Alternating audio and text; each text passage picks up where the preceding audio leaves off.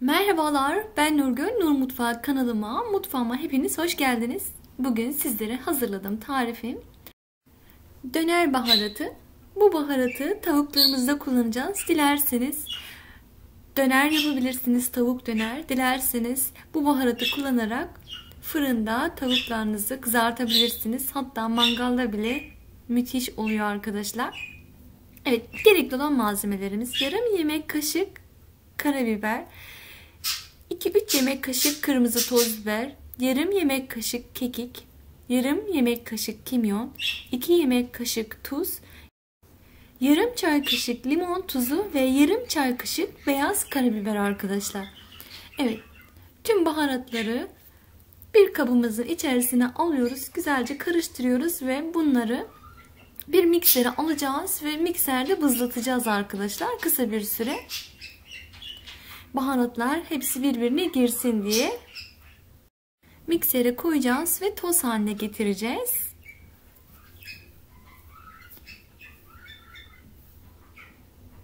Evet gördüğünüz gibi ben burada unutmuştum. Daha sonrasında limon tuzunu ve beyaz karabiberi de ekledim arkadaşlar. Sizlere listemin başında zaten hepsini verdim.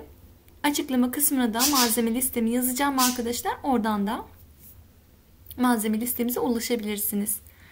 Evet, elde etmiş olduğum, hazırladığım tüm baharatları mikserime aldım ve kısa bir süre bızlatıyorum.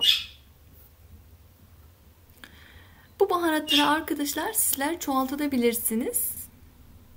Ama ilk başta bu kadar yapın ve deneyin. Denedikten sonra mutlaka beğeneceksiniz zaten. Sonrasında malzemenizi artırarak devam yapabilirsiniz. Evet gördüğünüz gibi oldukça un haline geldi. Burada yarım e, çay kaşık kadar da beyaz karabiber ilave ettim. Evet hepsini güzelce karıştırdım arkadaşlar ve ben bu baharatımı vakumlu kavanozuma doldurdum e, tavuk kızartacağımda, döner yapacağımda bu baharattan kullanıyorum. Şimdi nasıl kullanıyorum onu da anlatacağım sizlere. Tavuk kotletlerini yani tavuk butlarını arkadaşlar açılmış halde gördüğünüz gibi bunu kasapta yaptırabilirsiniz. Ben 9 tane tavuk kotlet kullandım arkadaşlar. Bu miktar e, değişeceği için sizler baharat kullanırken de ona göre ayarlayabilirsiniz yaklaşık 3 yemek kaşığı hazırlamış olduğum döner baharatından ilave ediyorum ve 1 çay bardak su ekleyip güzelce harmanlıyorum. Kesinlikle sıvı yağ ya da zeytinyağı bu esnada kullanmıyorum arkadaşlar. Sadece baharat ve su. Güzelce harmanladıktan sonra ben bu harcı buzdolabıma kaldırıyorum. Buzdolabımda bir gün bekletiyorum. Bekletince arkadaşlar içerisine baharatlar çekiyor ve tavuğumuz daha bir lezzetli oluyor. Bunu dilerseniz e, sabah yapıp akşama da pişirebilirsiniz. Aynı lezzeti alacaktır arkadaşlar. Yeterli gelecektir. Evet daha önceden ben e, fırında tavuk döner yapmıştım. Hazırlamış olduğum bu tavuk kotletlerden arkadaşlar. Detaylı tarifimi diğer videolarımdan izleyebilirsiniz.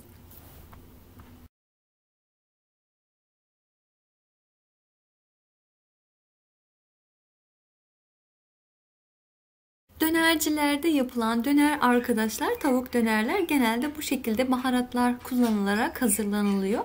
İçerisine e, yoğurt veya başka bir karışım atılmıyor. Aslında sadece bu görmüş olduğunuz baharatlarla harmanlanıp e, şiş telleriniz takılıyor ve o şekilde e, kızartılarak döner elde edilmiş oluyor. Ben de e, orijinaline yakın evde fırında bu şekilde kendi tavuk dönerimi yaptım arkadaşlar. Sizler de deneyebilirsiniz. Gerçekten e, çok lezzetli, çok güzel bir e, döner oldu. Dışarıdaki lezzeti aratmayacak. Hatta daha da bir lezzetli diyebilirim sizlere. Evet. Hazırlamış olduğum tavuk döner baharatını gördüğünüz gibi arkadaşlar e, buzluğa da attım. Buzlukta nasıl saklanılır bunu da kısaca göstermek istedim. Bu videolarımı Instagram sayfamda paylaşmıştım hikayemde. Buraya da e, almak istedim sizler için. Gördüğünüz gibi baharatladığım e, tavukları şeffaf folyenin üzerine koydum ve bu şekilde sardım. Ve dönerimi elde etmiş oldum. Bunu derin dondurucuya kaldırıyorum.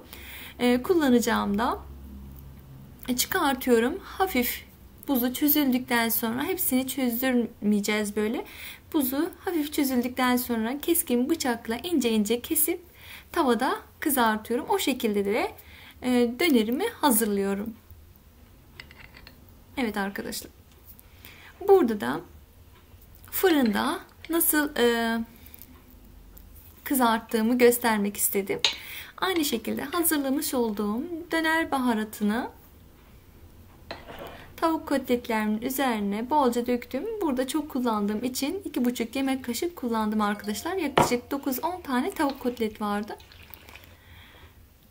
Yarım su bardak su.